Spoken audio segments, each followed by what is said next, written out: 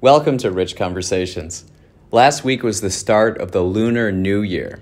My roommate is Vietnamese, and her and her friends were kind enough to invite me to a Buddhist temple to celebrate.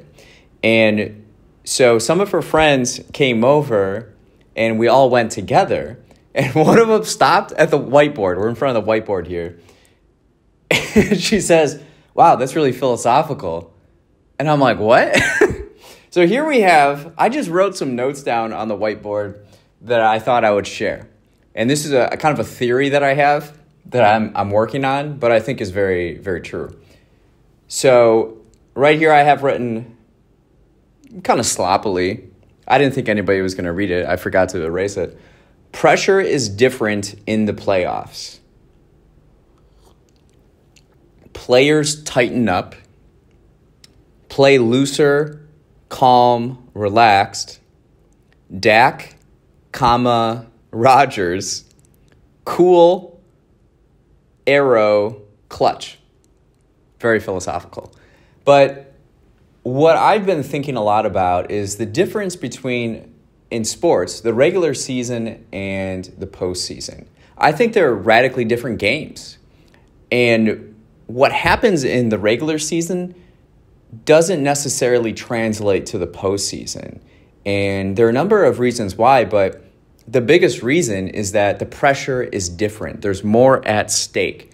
So, what happens is the players that can still play relaxed, calm, and not let those expectations, not expectations, but the weight and magnitude of the game and the outcome affect their physiology in a way, their psychology and their physiology in their bodies. What we're finding, what we see if we look at history, and even recently with Patrick Mahomes winning the third Super Bowl, is the players who are loose, relaxed, cool, poised, they tend to win more than um, players that tighten up, mechanical. A big thing today is analytics. So that's stats and data in relation to sports and performance, right?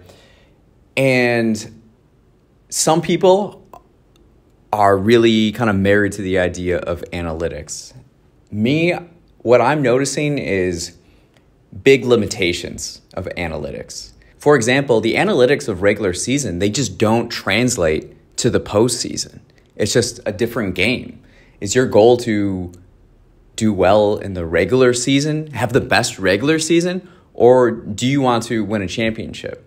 And I'm finding those analytics aren't as relevant as some would think. One of the biggest events that has swayed me in this direction is being in Miami, watching my number one seed Milwaukee Bucks play. Uh, I went to both games in Miami, and Jimmy Butler put up 56 points and the eighth seed beat my number one Milwaukee Bucks. I wasn't even mad.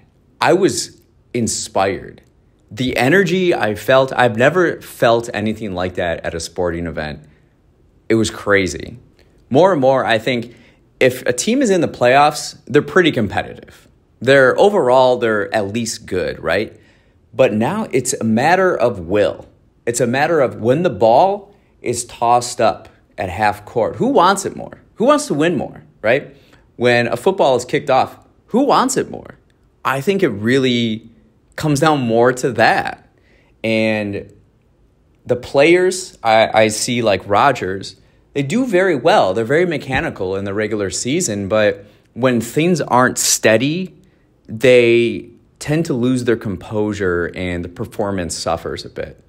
Um, with the NBA regular season right now, the Boston Celtics are the one seed and everybody loves them. Oh, they they must be surefire bets to go to the NBA finals.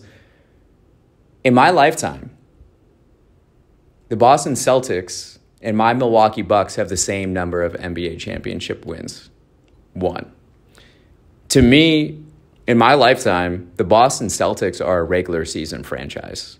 The pressure in the playoffs is totally different. But what we can, if you're a betting individual, we can look at precedent and players who have performed well and have won at the highest level are more likely to do it again than players who haven't.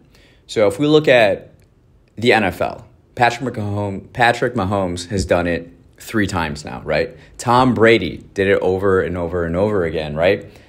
In basketball, we have Jokic, he's done it. Giannis has done it. We've seen them do it, so they're more likely to do it again because they know what it takes.